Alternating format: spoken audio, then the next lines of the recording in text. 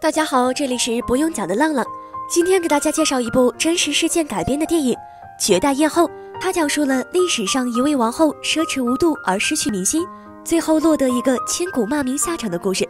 不过大家不用想着是慈禧太后，清纯妹是奥地利尊贵的小公主，为了国家不得不联姻远嫁法国。不久，丈夫顺利登上王位，而清纯妹也顺理成章地成为了王后。戒备森严且一点生机没有的王宫。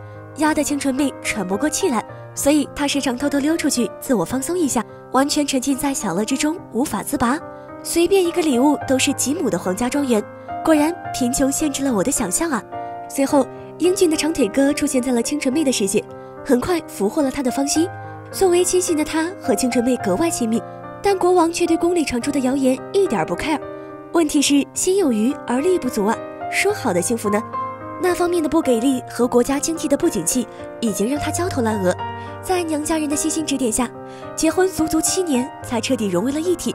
一年后，两人迎来了爱情的结晶。颜值碾压众人级别的小公主，成为了母亲后的清纯妹，更是花钱没数，全然不管不顾现在的花销拮据的国家和百姓的民不聊生，被人骂得狗血淋头也不在乎。隔年，清纯妹又诞下了一名男婴，底气更足的清纯妹更加奢侈无度。而人们更是指责他才是罪魁祸首。一心宠妻的国王仍然顶住所有的骂名，满足他的愿望。所以说，专制统治下的国王多半死得很惨，也是再正常不过了。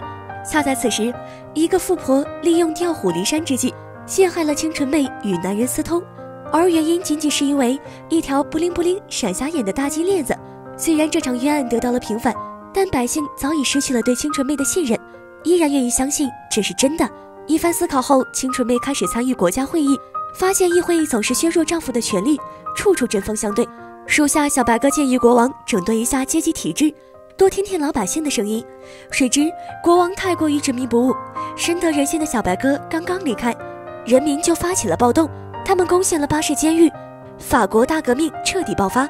国王临死之前都没有反悔的态度，一刀子被人砍掉了脑袋。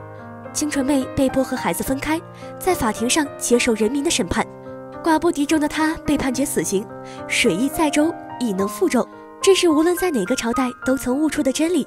身为最高领导人，最先想到的就是百姓的感受。一味的压榨，后果不堪设想。传说玛丽王后在上断头台的时候，不小心踩了刽子手的脚，委屈膝说对不起。你相信吗？至少我是相信的，因为优雅与贵气，沉静与淡然。早就写在了玛丽的生命里，像曼陀罗一样美丽的绽放，有辉煌的毁灭。欢迎在下方留言告诉我，我们下期再见。